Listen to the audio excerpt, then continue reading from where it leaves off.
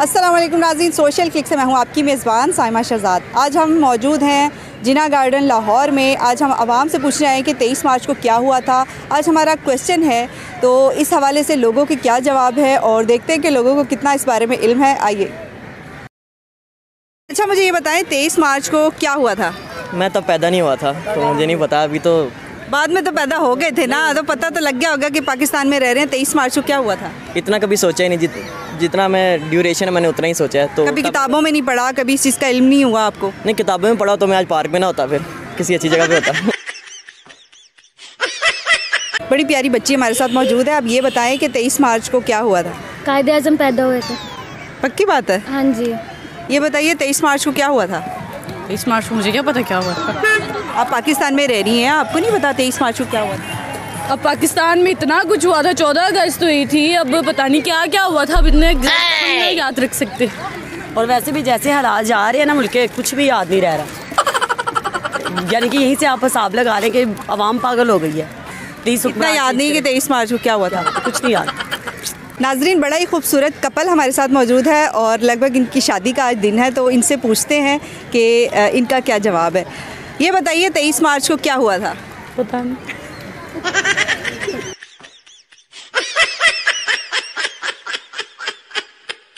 आप बताइए। नहीं पता। आप पाकिस्तान में रह रहे हैं आपको नहीं पता तेईस मार्च को क्या हुआ था? इधर तो खड़ी हो बोल दो। बोले आप? मैं क्या बोलूँ? अभी बोलने जो बोलना बाद में बंद हो जाएगी बोलती कहते आज़म पैदा हुए थे। तेईस मार्च को हमारी शादी के डेट फिक्स हुई थी मेरे ख्याल से।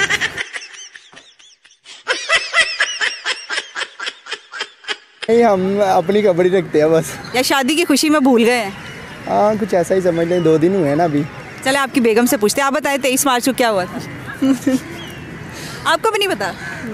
आप ये बताइए कि तेईस मार्च को क्या हुआ था?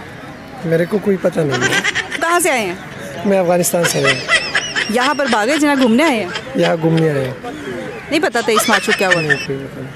बेटा ये बताओ तेईस मार्च को क्या हुआ था? तेईस मार्च को तेईस मार्च को कई आज़म ने वो किया हमारा पाकिस्तान बना था तेईस मार्च को बनाया था बस यही है बात ਅੱਛਾ ਮੈਨੂੰ ਇਹ ਦੱਸੋ 23 ਮਾਰਚ ਨੂੰ ਕੀ ਹੋਇਆ ਸੀ 23 ਮਾਰਚ 23 ਮਾਰਚ ਨੂੰ ਉਹ ਹੋਇਆ ਸੀ ਜਿਹੜਾ ਕਿਸੇ ਨੇ ਨਹੀਂ ਵੇਖਿਆ ਅਸੀਂ ਤੇ ਆਪ ਕੁਛ ਨਹੀਂ ਵੇਖਿਆ ਅਸੀਂ ਤੇ ਮੇਰੇ ਮਜ਼ਦੂਰੀ ਕਰਨ ਵਾਲੇ ਬੰਦੇ ਸੀਗੇ ਇਹ ਗਰੀ ਜਗ੍ਹਾ ਲਾ ਰੋਟੀ ਕਮਾਉਂਦੇ ਸਾਨੂੰ ਤਾਂ ਇਹ ਨਹੀਂ ਪਤਾ ਅੱਜ ਕੀ ਹੋਇਆ ਤੇ ਕੱਲ ਕੀ ਹੋਇਆ ਅਸੀਂ ਅਨਪੜ੍ਹ ਲੋਕ ਹੈਗੇ। ਤੁਸੀਂ ਪਾਕਿਸਤਾਨ 'ਚ ਰਹਿ ਰਹੇ ਹੋ ਤੁਹਾਨੂੰ ਨਹੀਂ ਪਤਾ 23 ਮਾਰਚ ਨੂੰ ਕੀ ਹੋਇਆ ਸੀ पा, पाकिस्तान जिंदाबाद पाकिस्तान है ना बताइए और सू कुछ नहीं पता था सर ये बताइए कि 23 मार्च को क्या हुआ था योम दिपा पाकिस्तान की योम दिपा का दिन है अच्छा हाँ जी